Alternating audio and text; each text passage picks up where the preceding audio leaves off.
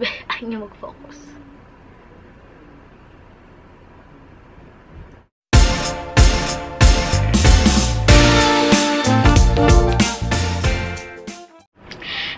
Guys! Welcome back sa aking channel. So for today's video is I will be doing a Watson haul and a review. So, kaya siya naging review kasi nag-film na talaga ako netong Watson haul ko. Tapos, na-delete ko siya guys. Na-delete ko yung mga clips nun. So, ano na siya, one week ago na siya. Lahat ito is skincare. So, masishare ko na rin sa inyo kung worth it ba yung mga nabili ko. Kasi new products lang sila para itry. So, let's start. So, unahin ko na dito sa bago kong biniling moisturizer. Ito yung Eye White Whip Pro Niacin Moisturizer. Probiotic Complex plus Niacinamide. Yan. Yung itsura niya. Yan. So, sabi niya, new lang siya. Yan. Nagtitest out ako ng bagong moisturizer. So, ganito yung itsura niya. Ganyan siya kapag binlend. Yan. Mabango siya and actually gusto ko to kasi mabilis siyang na-absorb and lahat ng tinry ko ngayong skincare sasabihin ko na ang ganda ng effect niya kasi first time ko uling mag-makeup ngayon. Ayan. Nag-makeup uli ako after a long time. Ito yung mga skincare na ginamit ko na for a week. And ang ganda ng result niya kasi as in hindi nag-oil yung face ko and ang ganda ng kapit ng makeup ko. yon So, next is itong Lux Organic Soft Lip Sleeping Mask. Ito. Yan. So, meron daw siyang vitamin E, shea butter, and macadamia oil. Maganda rin to. So, meron din tong konting tint sa kanya. Pag ganyan siya. Meron siyang light pink. Parang siyang actually lip gloss. Tapos, ang bango niya amoy meron siyang slight strawberry scent sa kanya. Ito yung mask na hindi pagising mo, meron sa lips mo. So, na-absorb siya ng lips and super soft ng lips ko pag ito yung gamit ko. Yan.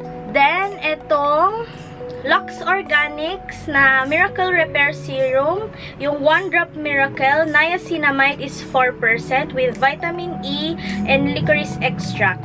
So, this is alcohol-free and paraben-free. Yan. So, ang dami kong napanood na mga YouTubers na isa daw to sa holy grail nila.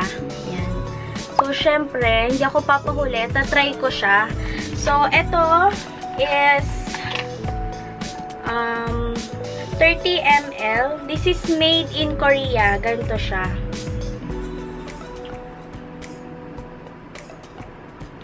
So, ganito yung consistency niya. So, dropper siya. Ganyan yung consistency. Oh my gosh! Saba! Yan. So, dito siya tumulo. Yan. So, mabango to. Uh, hindi ko hindi ko ma-describe yung scent niya, pero amoy fresh or tas may basta amoy fresh siya na mabango and mabilis din siyang ma-absorb. Then, next is, ito may kwento ko. Kasi nung bago ko pumunta ng Watsons, umorder na ako sa Shopee. Sa Shopee or sa Lazada, sa Watsons. Kasi nga hindi ko naman na-expect na pupunta ako ng Watsons. Ang pinakakailangan ko lang talaga is tong mask na ipapakita ko. And then, nakita ko, na-intriga ko dun sa bagong um, People Eraser ng Quick Effects. So, papakita ko sa inyo. Ayan, nagdoble-doble siya. Ayan. Kasi ganito yon. Nasa Watsons na ako, nakita ko meron silang stocks. So, nung nandun na ako, hindi pa naman siya to receive. To ship pa lang siya ng seller dito sa Watsons sa amin. Um, kinancel ko na siya. Then, syempre, kampante na ako na na-cancel siya. So, binili ko na to. So, ito yung binili ko, ito yung binili ko, Quick Effects Pimple Eraser na toner with 2% salicylic acid and 0.5 glycolic acid with 1% nitro na niacinamide plus vitamin C. Ay, hindi ko pala nakuha. So, wait lang. Bubuksan ko siya. Kasi yung isang bukas nasa kwarto ko na. Kasi nga nagamit ko na siya, diba? Yan. Ganito yung itsura niya. So, maganda dito, ano na siya, uh, spray. Yan. Di-spray na lang siya. So, ginagamit ko to tuwing morning kasi alam niyo naman, ang holy grail ko, ang Maxi Peel Zero, yun ang toner ko sa gabi. Yan. So, sa morning ko to ginagamit after ko wash ng face. So, ayun na nga, yung kwento ko.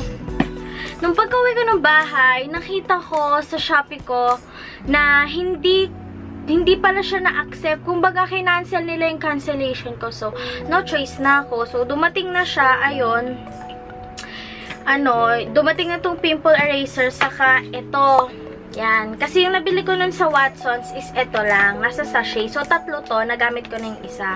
And this is my Holy Grail Peel-Off Mask. As in, ito. Sa lahat ng peel-off mask na na-try ko, yung mega na brand, yun yung pinakamaganda. Kasi hindi to pwede sa sensitive skin kasi sa lahat ng na-try ko na peel-off mask, ito yung pinakamakapit na yung mga blackheads and yung nagbabalat sa mga face mo. Natatanggal niya talaga yun.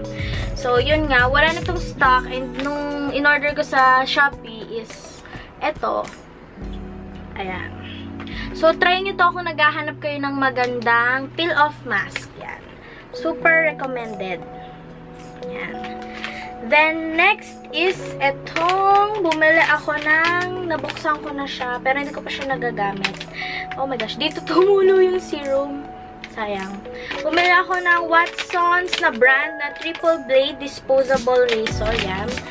So, kasi nagsishave ako ng legs, yung upper part ng legs, yung sa knee pataas yan, sinishave ko siya. Then, yung uh, baba ng knee ko, yung sa, or binte, um, ine-epilate ko yan. So, nag-epilate ako kasi hindi ko alam kung kanino ako nagmana, pero super balbon ko. And, nakakapagtaka kasi yung mama ko, papa ko, mga kapatid ko, halos wala silang balahibo.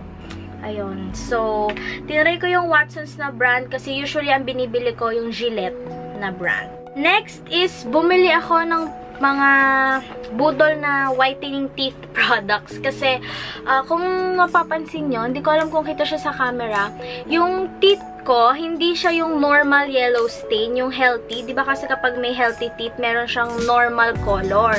Yung teeth ko, mas siguro mga 2 or 3 shades darker siya kumpara mo sa normal yellow color. Kasi, before, nung naka-braces ako, lag, nasanay ako na lagi ko minumumog lahat ng iniinom ko. And number one doon, yung tea. So, nagti-tea na ako. I'm drinking tea for 7 years. So, straight yon 7 years until now. Nagchacha ako. Parte siya ng buhay ko. yon So, nung nagka-braces ako, eh, di ba uminom ako ng tea? Yung tea, lagi ko siyang namumumog. So, bakit ko minumumog? Kasi nga, di ba, no, pag may braces ka, pag kumakain ka, maraming naiiwang mga kanin or something sa ipin mo. So, ako, nalilinis ko siya. Hindi naman kasi kagad ako makakapag-toothbrush, di ba? Nalilinis ko siya sa pamamagitan ng pag-gargle kung ano yung iniinom ko. And yun, nasanay na ako, naging naging habit ko na na lahat ng iniinom ko is ginagargle ko. Isa na dun yung tea. Magti 3 years na akong walang braces sa January. And until now, yung tea namumumog ko pa rin. So, yung effect sa akin, syempre yung tea, isa siya sa teeth staining drink. So, ayun, hindi ko alam kung kita. Marami akong binili. Hindi naman marami. Yung isa dito nakabili na ako. Nire-purchase ko lang kasi hindi ko siya uh, nagamit ng maayos. So, unahin ko na itong PS Perfect Smile Premium Teeth Whitening Gargle Stick. Ang kanyang claims is one shade lighter in just 7 days. Whiter teeth, fresher breath, and healthier gums. Ayan. Si Miss Heart Evangelista. Ayan. Hindi ko pala nasabi yung mga price kung magkano to. Ipapop ko na lang siya sa screen yung mga nauna. Pero ito, this is 159 pesos. Mas mura siya ng isang box. So, 14 pieces siya sa isang box. Kasi dapat kumuha lang ako ng gargle stick. Pagkakita ko, 25 pesos isa nung gargle stick. Pero yung 14 pieces is only 159 pesos. Yan. So, hindi ko pa ito natatry kasi hindi ko alam. Hindi ko pa siya natatry. Yan. Ganito yung tsura niya. Yan. So, isang gargela na to. after mag-toothbrush, then 30 minutes bawal kumain or bawal uminom. Then next, ito yung sinasabi ko sa yung nire-purchase ko na lang, yung fresh na charcoal whitening toothpaste, ultra cool mint, uh, whitens naturally, fights plaque, and freshens breath. Yan. Ito is 35 pesos. Yan. Ko na siya bubuksan. Nakita yun na to. Then, next is, naglabas sila nung partner nun na mouthwash. Ito naman yung charcoal na ma whitening mouthwash with natural activated charcoal. Yan. Yan. So, yun na yung mga skincare na nabili ko last week. Na nabili ko. So, yun nga yung sinasabi ko sa inyo kanina. Maganda yung effect sa akin itong mga skincare na to kasi ang target ko talaga is kaya ko sila tinry kasi nagkaroon ako ng madaming pimples. Siyempre, monthly dalaw, tapos nag-iwan siya ng mga pimple marks. Naisip ko na mag-try uli ng mga bagong skincare. And so far, wala naman siyang masamang side effects sa akin. Like, hindi ako nagka-small bumps, hindi rin ako nagka-pimple, and maganda pa nga yung naging effect niya kasi hindi ako masyadong oily. Tapos, feeling ko naman, nagla-light pa yung, nagla-light yung, nagla-light yung dark marks. Hindi ko masyadong masabi pa kasi nga, di ba, one week ko pa lang silang natatry. Pero so far, gusto ko na sila. And additional lang, bumili rin ako nito. Hindi siya skincare, pero ngayon ko palang tinry yung Voluminous Lash Paradise. So, matagal na, by L'Oreal. Matagal na ako na-intriga dito kasi naging favorite to ni Jeffree Star. So, so masasabi ko lang din, ang OA na, pero sa lahat din ng mascara na nagamit ko, besh, ito yung pinaka-favorite ko kaysa dun sa mga Maybellines. Ito yung bristle niya. Yan. Ayaw niya mag-focus. Yan. Yun. So, ang ganda nito. Like, ito siya. Suot ko siya ngayon. Yan. Sana nakikita niyo yung lashes ko. Huwag niyo napansin yung eyeliner ko. Sa sobrang pagmamadali ko kanina. Lumagpas siya. Tapos di ko na alam kung anong gagawin ko. Yan. So, yun yung lashes ko ngayon. Diba? Ito lang, naglagay ako ng coats of this and besh. Ang ganda niya, kaya pala sobrang favorite siya ni Jeffree Star now. I know, kasi nga maganda siya. Ang sabi nga pa, um, dupe niya daw to sa Benefit na na hindi ko alam yung full name, basta Benefit Mascara. So, that's it guys. Yun yung mga nabili kong skincare. And if you want to try, try nyo kasi sa lahat ng nabili ko, maganda siya. Worth it lahat. So, thank you for watching guys. Please like and subscribe. See you on my next video. Bye!